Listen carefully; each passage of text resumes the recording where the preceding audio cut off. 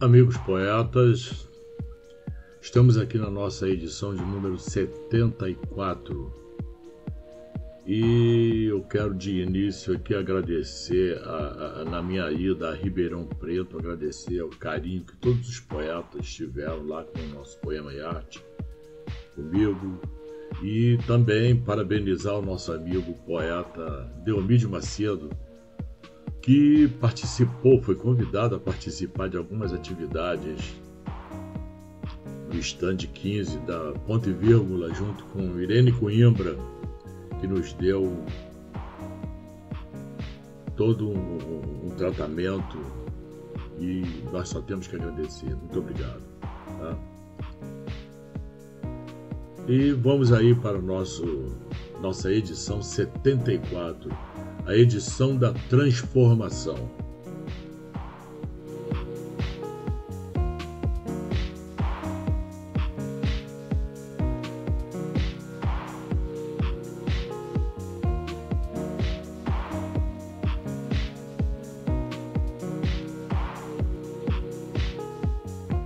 Luiz Menezes de Miranda, de Salvador, na Bahia. Se eu tivesse um céu, eu iria colorir com todas as cores do mundo. Se eu tivesse um chão, cobriria com os mais belos tecidos. Mandaria pintar de rosa, azul, lilás. Ou melhor, usaria as cores do arco-íris. Da noite, eu pediria um favor às estrelas, poder gravar em cada uma delas uma letra do teu nome. Recolheria tudo isso e colocaria embaixo dos teus pés. Mas sou poeta e sou pobre, e as únicas coisas que eu tenho são os meus sonhos. Todos eles estão espalhados embaixo dos teus pés. Quando for pisar, pisa devagarinho, pois estará pisando nos meus sonhos. Pisa com amor, pisa com carinho, para que eu não lhe mate dentro de mim. Sonhos, Luiz Menezes de Miranda. Magda Helena, Pouso Alegre, Minas Gerais. Na Semana da Pátria, luar de sonhos e luzes ilumina o que é infantil, dissipa trevas e dores, é janela com prata no peitoril Vespertina estrela brilha no espaço azul anil. Barco do sonho navega na onda do tempo juvenil. Na manhã, a flor do orvalho brilha ao sol de abril. Pétalas guardam lembrança do tempo estudantil. Pássaro de voo inocente desperta interesses mil sobrevoa as distâncias, alegra a terra gentil. Lua, estrelas andantes mostram um povo varonil que vive com a esperança em nossa pátria, Brasil. Deumídio Macedo, Guanambi, Bahia. Caminho e progresso Delmídio Macedo.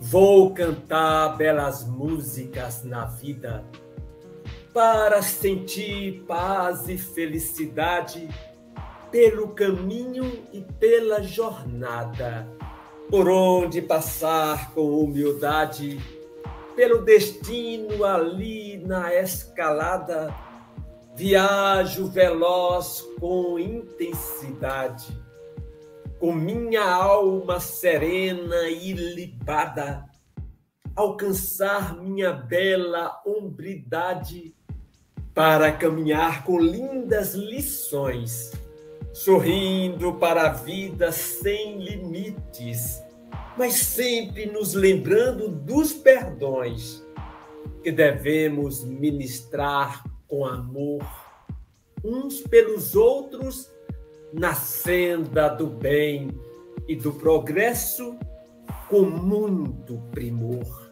Caminho e Progresso, de Almídio Macedo.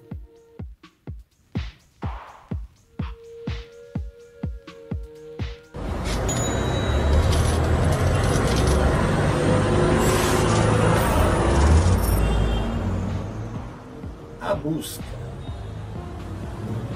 A tarde está morta. A paisagem dança feito miragem no horizonte. O barulho dos carros incomoda bem menos que o dióxido de carbono dos escapamentos. Pessoas sufocadas pelas máscaras trabalham na busca de uns trocados. Uma mulher, uma mulher joga malabares no farol na busca de uns trocados. Alguém busca uns trocados amparados no ato da caridade. O entregador sai de moto pelas calçadas, é a sua busca pelos trocados. Na fila do banco e da lotérica, pessoas levam seus trocados. Enfim, de trocado e trocado, tem sempre alguém não busca, mas fica com os trocados. Poema.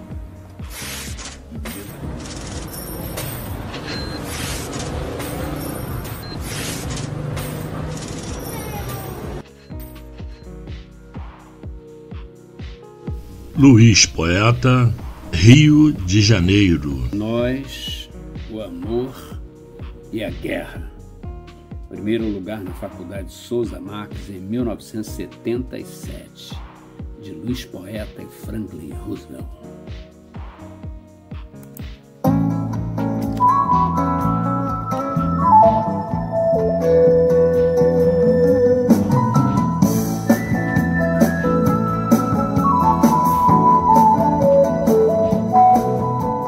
Vejo no espaço pontos de luz a cintilar E na luz do teu olhar Sonho com a paz que não existe Vejo teus olhos não são tristes Pois há neles só amor São ausentes dessa dor Que destrói corações.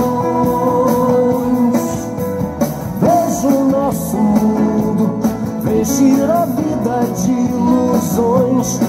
Muito além as explosões fazem a terra estremecer. Pra que guerra pra viver? Todos têm que acreditar que o amor não vai findar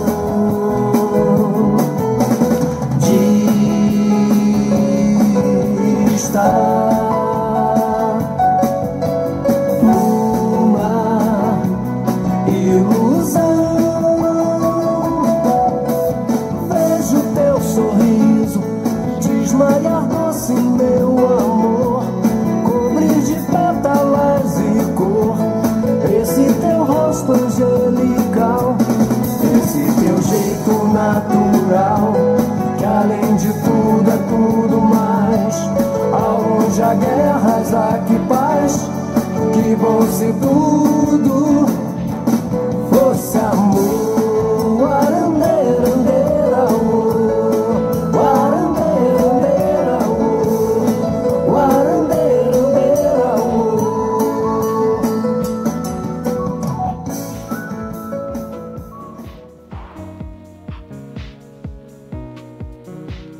Raimunda Lucinda Martins, São Luís, Maranhão.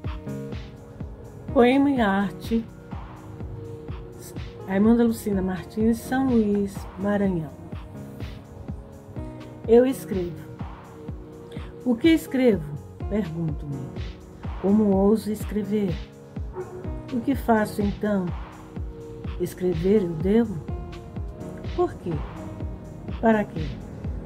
Letras trocadas, sentidos controversos, sem rimas, sem versos, trocando palavras, palavras sem nexos, desconexas. Escrever é minha sina? Não sei. Escrever ou não escrever? Porque digo o que se passa e o que não se passa, o que sinto, o que não sinto, o que invento e até o que desinvento. Transformo água em nada, rio em oceanos, lua em mulher, terra em lugar sem espaço. No espaço, trocando cansaço pelo sorriso da fantasia, em plena poesia, escrever para quem? Será que me transforma em escritora só por colocar letras, palavras em total desorganização, tendo sentido sem querer? Escrever me faz bem, mas quem gosta de me ler? Você? Por quê? Eu nem sei se sou escritora. Só sei que escrevo por compulsão, aquilo que dizem meus ouvidos e com toda a paixão. Hei de escrever, talvez, quem sabe, até morrer. Luiz Manuel de Freitas, Pirpirituba, Paraíba. Já não sofro sob as armações da vida, como fiz outrora, perturbado pela gélida indiferença. Hoje, trago as rugas de meus prantos e meus caminhos não mais são desertos arenosos, nem meu pensar, lodo do orco, que ocupou em tempos idos a minha imaginação. Já me ponho à vista de todos, sem medo de me precipitar pois, ciente dos meus sentidos, já não sonho com os meus fantasmas, e nem me destruo matando meus próprios anseios, como fiz outrora. Não pretendo nem vou, pela resistência que ostento, sofrer sobre metálicas armações que o mundo impõe, porque, espreitando a minha sombria cruz, lanço olhar sobre os enigmáticos jardins, campos e estradas que me ofertaram ensinamentos confusos, verdades obscuras e certezas incertas. Difícil foi, mas transpus barreiras, rios e mares, e no ar abri as asas serenas e firmes como fazem as águias. Não me deixe confundir como fiz outrora não amo desencontros e fujo dos precipícios, com a serenidade de quem passeia à beira-mar em final de tarde. Não por ser um homem inconsequente, mas pela clareza que o mundo não é um desenho metafísico magnífico, mas um encontro de frustrações, encanto e desencantos, sob o comando da causa primária do universo e por isso rico de superações. Precisei compreender e compreendi diversos teoremas, entre eles o do egoísmo, o que me permitiu organizar por meus sofrimentos, não multiplicar a minha dor, mas sim minha gratidão e esperança de um dia caminhar em um mundo de amor e de perdão. Nada como fiz outrora, do livro da coletânea Reviver, coletânea literária, organizado por nós e editado pela, pela ONG Projeto Reviver, por nós administrada, Luiz Manuel de Freitas. José Hilton Rosa, Belo Horizonte, Minas Gerais. Sonhando sob Carlos Borges, Monte Azul, Minas Gerais. Tempo, descer da muralha de todo egoísmo, realizar o caminho da humildade sedativo para o bom sono. Enxergar o veneno cair pela saliva humana, pequeno é o berço da ignorância, ouvir o ronco da maldade política, afogar com suas palavras todo desonesto.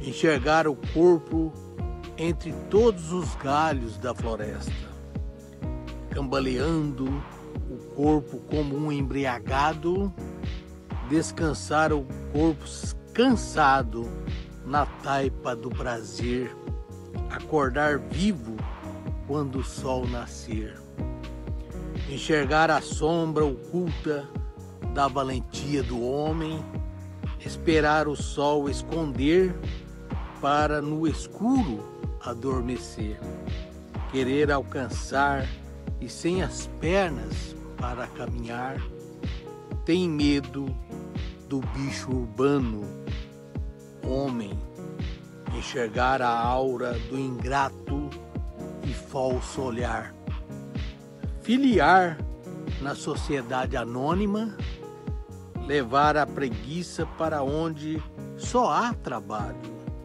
hipnotizar pelo sorriso de uma criança José Hilton.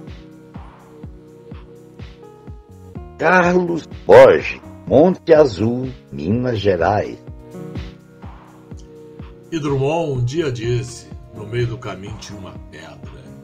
Poeta que sou, não me sinto na obrigação de com ele concordar. Sou poeta, mas sou como a água que da pedra sempre desvia.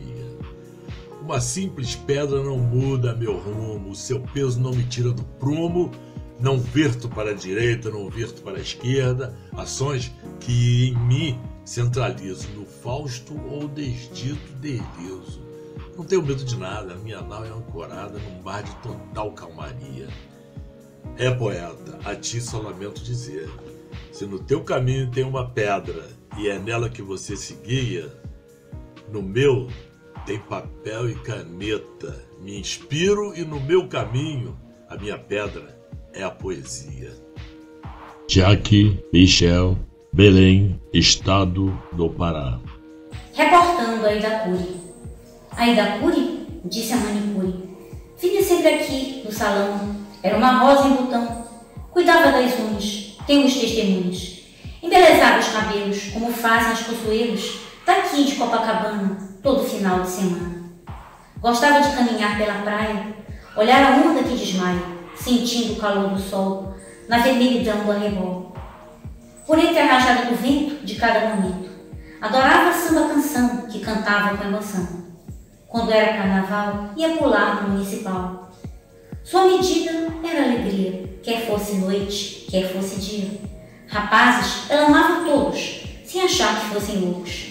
Vivia sorrindo para a vida, talvez por isso fosse tão querida. Tudo foi assim até o fim. Quando meu olhar, afoito, leu o jornal de 14 de julho de 1958. Jovem é atirada do 12 andar. Será que queria voar? Do edifício na Avenida Atlântica, uma cena não muito romântica. Houve tortura com luta intensa e falta de presença. Os acusados são três delinquentes. Serão novatos ou reincidentes? Eis um crime de atentado ao pudor. Que horror! Ao terminar de ler, chorei e em voz alta falei: Aida Jacó cure, se é possível, perdure ou descanse em paz, anjo fugaz. Fátima Sá Sarmento, João Pessoa, Paraíba. Acredite se quiser. A mulher é uma flor. A mulher é dor. A mulher é amor. ela multiplica-se em ternura, divide-se em amar.